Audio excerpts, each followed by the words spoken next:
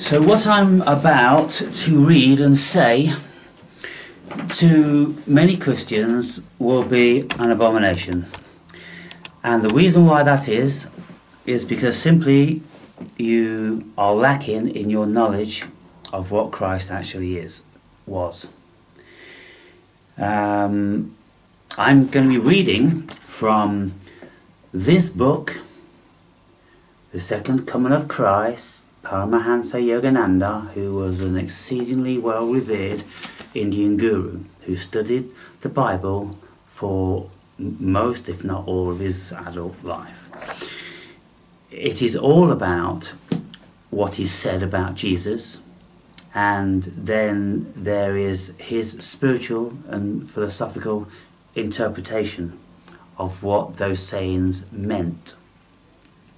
Now, I was reading this and I thought to myself, I just want to clarify what people on the internet consider Christ consciousness to be.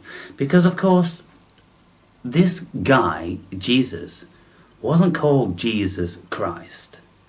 He wasn't even called Jesus, he was called Jeshua Benderis, apparently. Um, but they referred to him as Yeshua, which probably got interpreted as Jesus, the Christ, the anointed one, the one who had the blessing of cosmic consciousness. Christ consciousness and cosmic consciousness are the same thing, people. So, all of you Christians who are praying for this little goatee dude called Jesus, you have been barking up the wrong tree for all of your lives. Whether this guy called Jesus or anybody that resembles that ever lived is inconsequential. Because the, the point is, the whole point of this Christos is that it is within us. It's the very essence of the cosmos. And we can call the cosmos God, we can call the Christos the essence of God. We all are shards of God, we all are shards of the cosmos, and we have the same genetic makeup. And if we step outside of our ego, if we push that aside, if we evolve over and above the ego, we then enter into union with God, which is our Christ consciousness, which is our cosmic consciousness. This is what I've known intuitively for many years, and this is what I write about in my book. And I am absolutely decrying the vast majority of the nonsense uh, which comes out of Christianity uh, and the Bible because they haven't the foggiest clue what is actually happening. They are considering that Jesus is a man, it's true, it's true, it's true, and they're worshipping this Jesus and he's out there. They're completely missing the point. Jesus is a metaphor. The Christ is consciousness within you, your Christos, and it's you that you should be worshipping. It's the Spirit of God or Christ you should be worshipping within you, not anything out there. You do not need to pray to anything. You do not need to worship to anything outside of your own existence because you, we are God. Wow, it gets tiring, it gets tiring, it gets tiring. I don't know why I labour so. It's my job. Now, Jesus is always saying, The Father sent me, the Father sent me, the Father sent me. And I'm not doing my works, I'm doing the works that the Father sent me to do. Now, how many times have you heard me say that? I'm not doing this because I want to do it. Because frankly, I don't give a shit. I really don't give a shit deep down. Because, you know, it's beyond what I think from my egoic perspective as a human being. Why me? I'm like, why me? But it's a cosmic consciousness thing. And just like Jesus, who was telling people that he came down and he's doing what the Father wanted him to do, well, that is exactly what I'm doing. And there's been many, many people uh, on this world who have had the similar level of instruction that they don't know why they're doing it. They're compelled to do it through cosmic spirit, through the Christos. And some of you may be, oh, you think you're, sound like Jesus, you think you're Jesus. You've got no idea what you're speaking about. You are absolutely very, very silly billies. You've got so much to learn. You need to learn a great deal more. And what these gurus always say all the gurus all over the world in any single of these religions, they will tell you that the only way you are going to get into a relationship with the Christ, with the Christos, with the cosmic consciousness is via your meditation by shutting the fuck up and going into deep meditation on a very regular basis. You will then discover the Christos within you. You will then discover Christ within you. You will then discover cosmic consciousness and God consciousness. So that's what I write in my book. And that's what this guy is saying.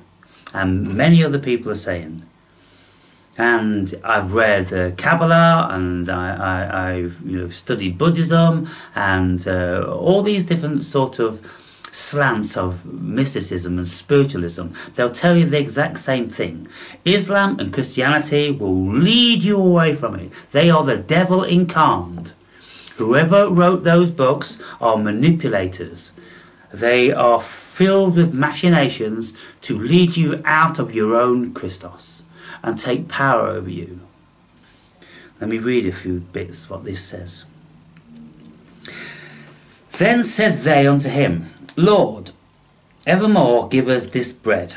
And Jesus said to them, I am the bread of life. He that cometh to me shall never hunger, and he that believeth on me shall never thirst. That's John 6 34 35. The Christ intelligence and the enlightened I am, the divine ego or spiritualized human consciousness, in me are one. Thus, the Christ consciousness in me, being the same as the infinite Christ, is the source of life and consciousness of all living beings.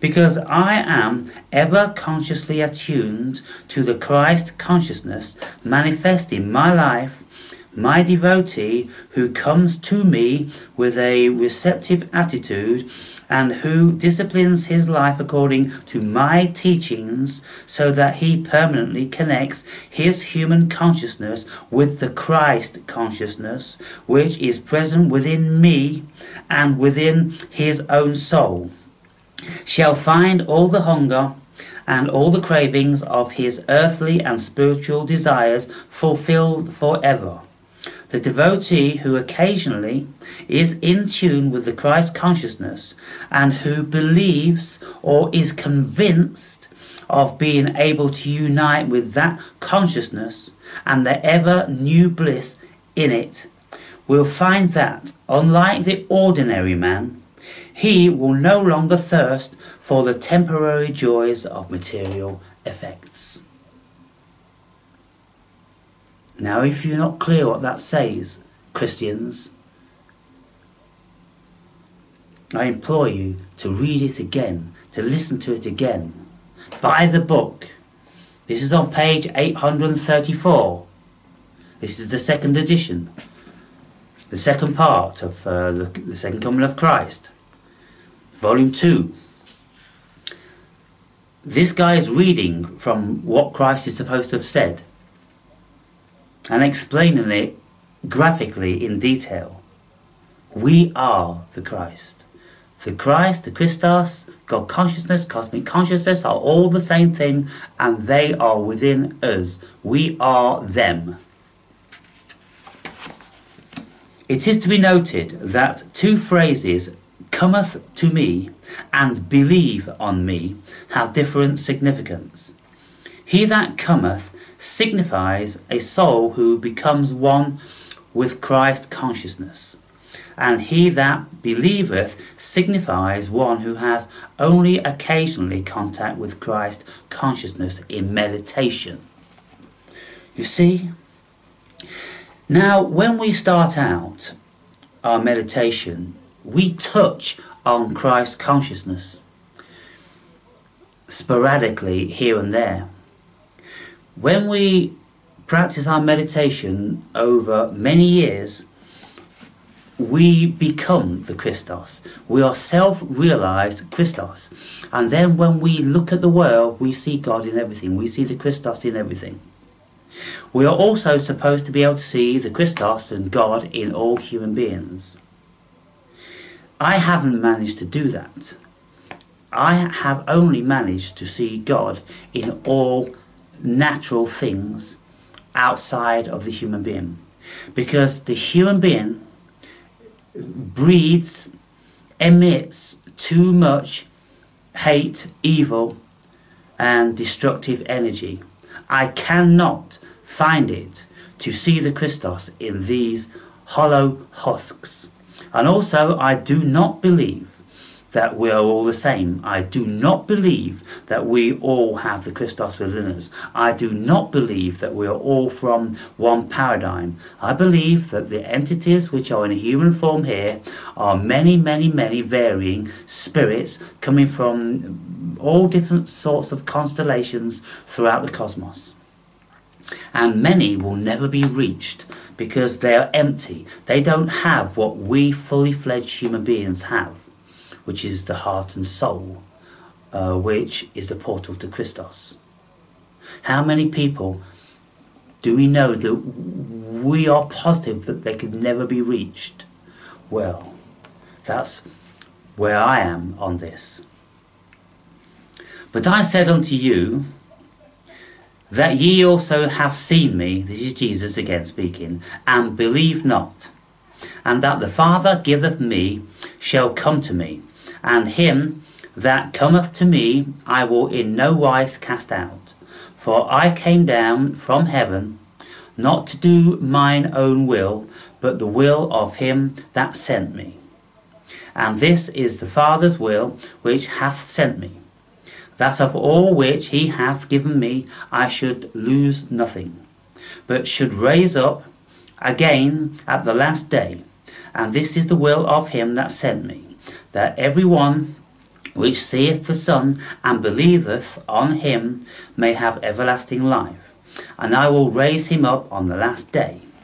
Now, everyone that seeth the Son and believeth on him, everyone that sees the Christ, everyone that feels the Christ and knows it to be true, then they will never die, they will never taste death, and they will be rose up at the last day. They won't burn like empty husks.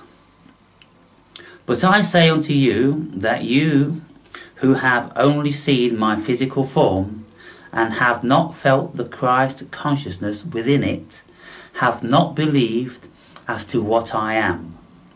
Whosoever my Father gives to me, that is what shall come to me. And whosoever comes to me, sent by the Father, and who tunes in his devotion and attention with my consciousness. I will never forsake, no matter how sinful or error stricken he is.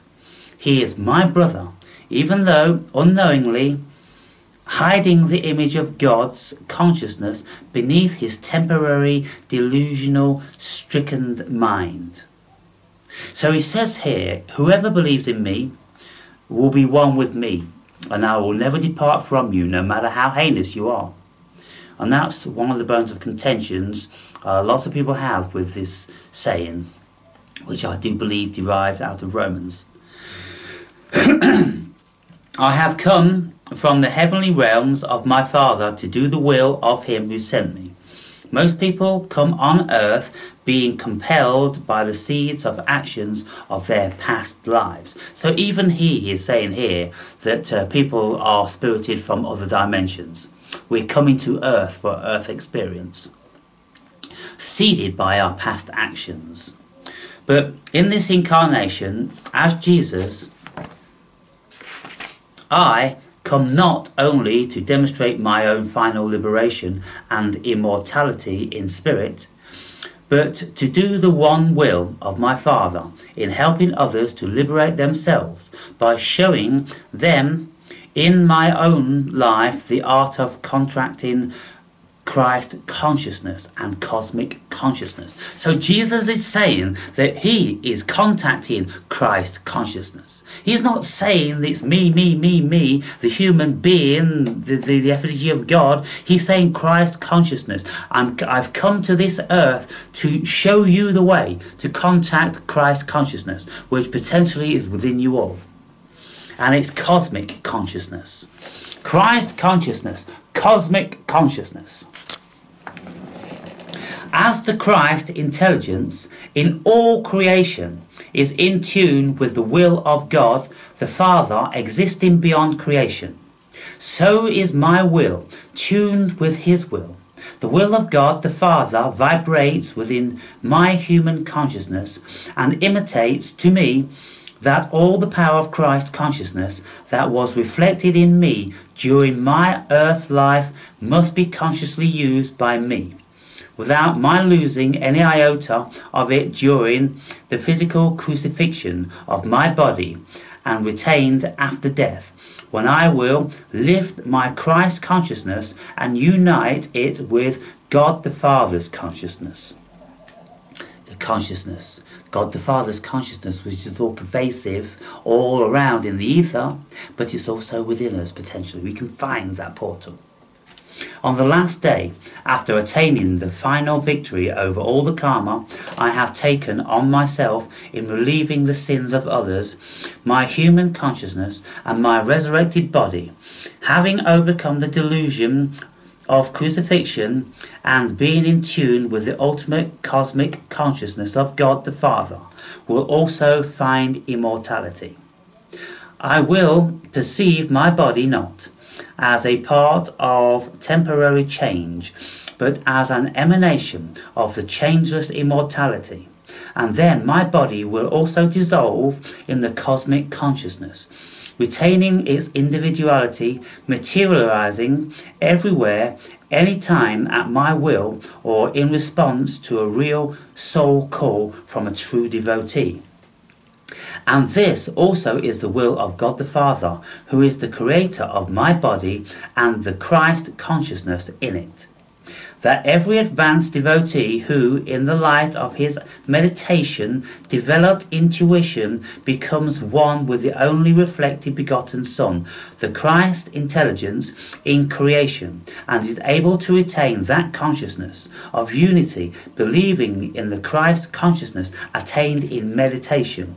Every single guru I've ever listened to or read about, they even Jewish um, Orthodox um, believers and Kabbalists, they will tell you that the portal into union with God is via meditation. And if you Christians do not meditate, you do not know God. You will not know God and you will not enter Christ consciousness.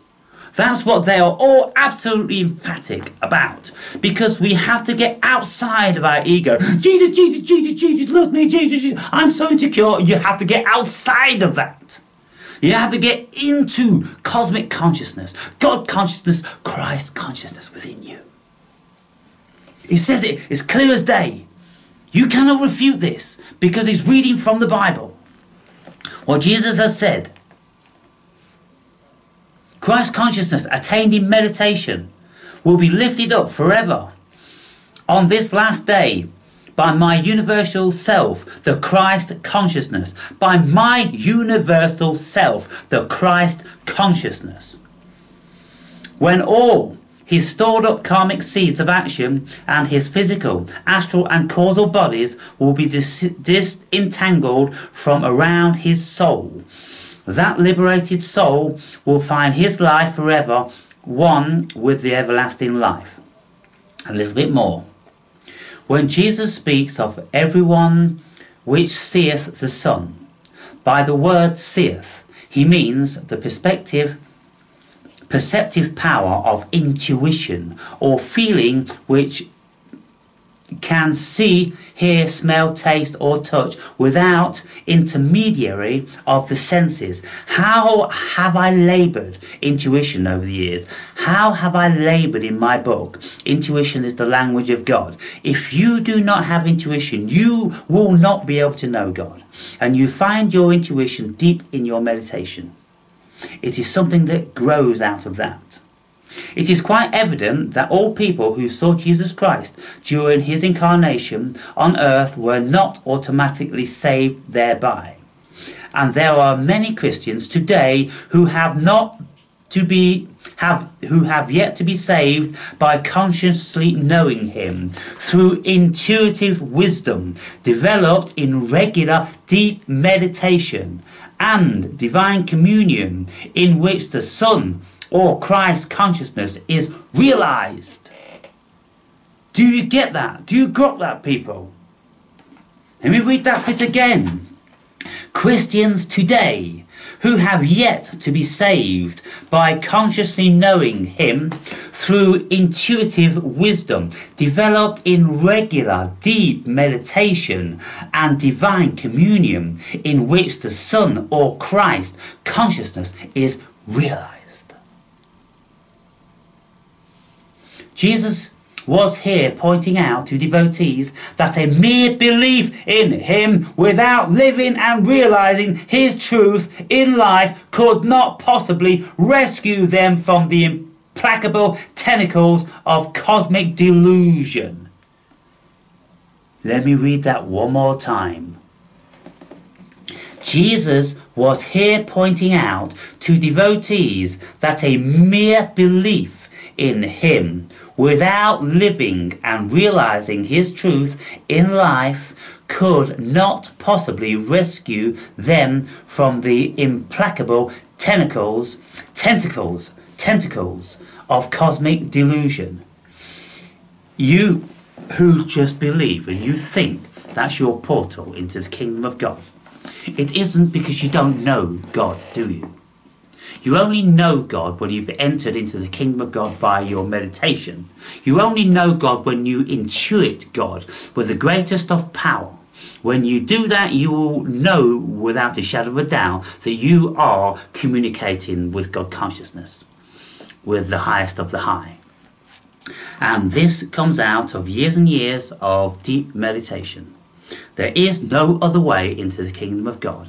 You will never get there by your belief. All you will do is con yourself. You'll, you'll place yourself in a delusion. And that is the bone of contention that I have with Christians because most of them are fools unless you absolutely know via your Christ consciousness, via your deep meditation, via your intuition, you do not know God.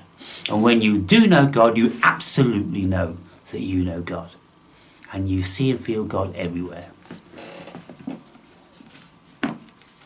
As I've said, these books are very, very powerful. They are vastly more powerful than the Bible because these books tell you the truth. And these books speak to you via human psychology and philosophy. These books are written by a very, very wise, enlightened being, unlike the books in the Bible, which I haven't read a single one which I would consider was written by an enlightened being. Just a bunch of copycats. And the thing is about those sad books, um, the earliest book which was ever written wasn't even written until 140 years after Jesus died. That's in the New Testament. 140 years. You would think if people saw Jesus walking on water and doing all these miracles, they would be writing it down in an instant. But all scholars will agree that at least 90 years passed. Some say 140 years passed before the first book was written about Jesus. How do we how do we get our heads around that? Other than it's just fiction, it's just stories that people started to write. Because I'm telling you now, if I saw someone walking on water before my very eyes, I'd be writing about it straight away.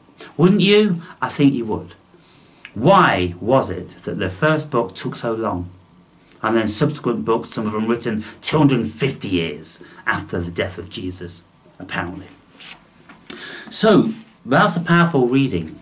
And this isn't for everybody, of course, because there's not a, a, a, a large portion of my viewers who are um, religious or deeply spiritual.